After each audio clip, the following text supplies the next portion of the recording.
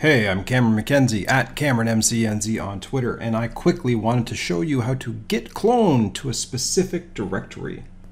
So I'm going to start off just by cloning a regular repository. I've got my GitLab repository right here, and there's the HTTP URL. You can find the same URL on GitHub or Bitbucket, whatever you choose. Just get your URL, and I'm going to do a git clone, paste that directory in there,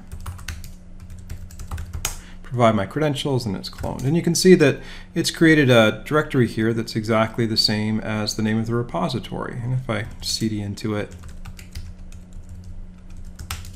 you can see that I've got all my files in there, feature home master, feature home.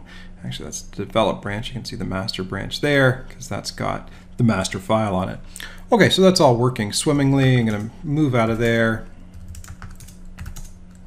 And I'm going to just remove that directory. Actually, I don't even need to remove that directory. I'm going to close this window and just open up a new one, just so it's nice and clean.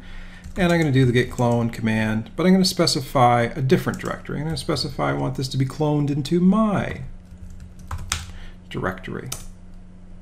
Provide credentials, provide password, and now when I do the ls command, you can see that it's been put into my directory. And so I don't even have to use a switch there. It's not like I had to do dash D, I didn't have to do dash dash directory. Just specify the name of the directory after the git clone command, and it creates that directory for me. If I want a cd in there,